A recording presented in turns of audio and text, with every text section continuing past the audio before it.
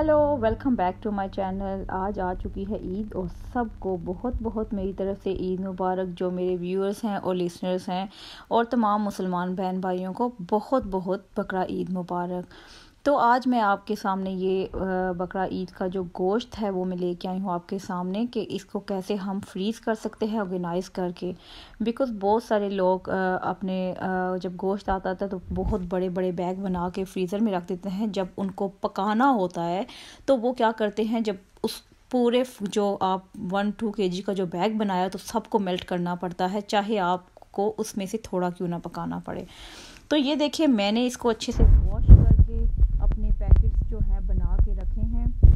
ये सिर्फ़ मैं आपको आइडिया देने के लिए सारा कुछ मैंने ये इंतज़ाम किया है कि आप कुर्बानी में अपने ये कैसे कर सकते हैं। ये देखिए मैंने जो पैकेट्स बनाए हैं ये मेरे कीमे वाला पैकेट्स आपको नज़र आ रहा है और इसमें मैंने क्या किया हुआ है? नाम लिख दिए हैं हल्के हल्के से। आ, ये हांडी वाला जो है वो मैंने सेपरेट कर दिया है कीमा सेपरेट कर दिया है और ये चॉप्स जो होते हैं आ, वो भी मैंने सेपरेट सेपरेट पैक बना के इसमें ऐसे रख दिए हैं। ये आप देख रहे हैं ये देखें कुछ बोनलेस हैं उनको सेपरेट कर दिया है। कुछ बोन के साथ मैंने हाँ ये दो तीन मेरे जो चार हैं, हांडी वाला जो मैंने बना के रखे और ये चावलों वाले सेपरेट मैंने पैकेट बनाए हैं, मैं आपको शो करती हूँ साथ साथ तो ये है, मैंने इसको पहले बहुत सा, जैसे आपके पास गोश्त बहुत ज़्यादा आ जाता है बहुत ज़्यादा तो आप उसको पहले सब वॉश कर लीजिए अच्छे अच्छे से।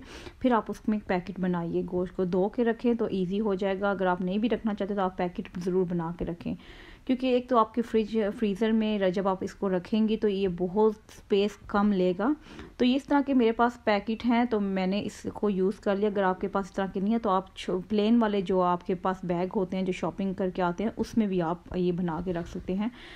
तो ये देखिए ये देखिए, मैंने ये सिर्फ़ बोटियों वाला था, गोल बोटी थी, जो मैंने इसको ऊपर लिख दिया है। ये जो है बोनलेस है।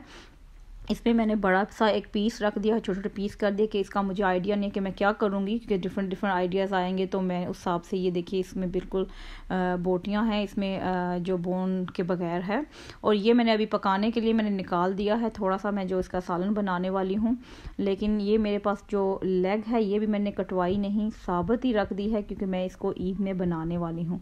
और इसकी वीडियो भी मैं आपको ज़रूर शेयर करूँगी तो आप ज़रूर देखिएगा। तो ये था थोड़ा छोटा सा एक मैंने आइडिया दिया है कि आप अपने गोश्त को कैसे फ्रीज़ कर सकते हैं।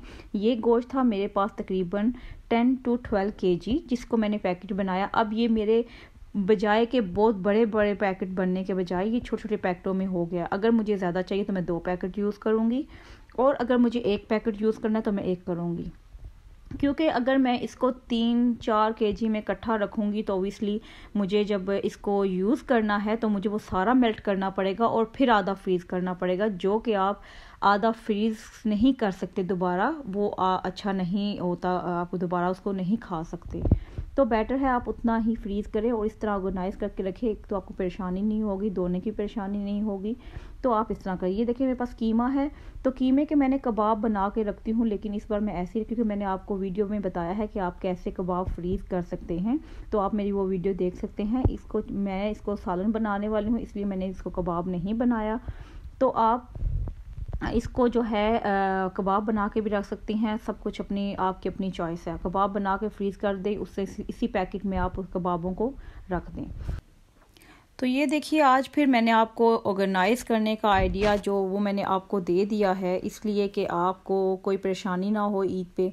तो अगर आपको हमारी वीडियो पसंद आए, मेरा तरीका और आइडिया जो भी है ऑर्गेनाइज़ करने का, आपको अगर पसंद आए तो लाइक और सब्सक्राइब ज़रूर कीजिएगा। दुआओं में याद रखिएगा। और भी आपको, मुझे कमेंट्स में ज़रूर बताइएगा कि आपको मेरा ये आइडिया कैसा लगा। और आप मुझे ज़रूर बताइएगा कि आपने ईद में क्या क्या बनाया। इन मैं भी अब आपको अपनी डाइनिंग जो है मैं लैम उसमें बना रही हूँ काफ़ी चीज़ें।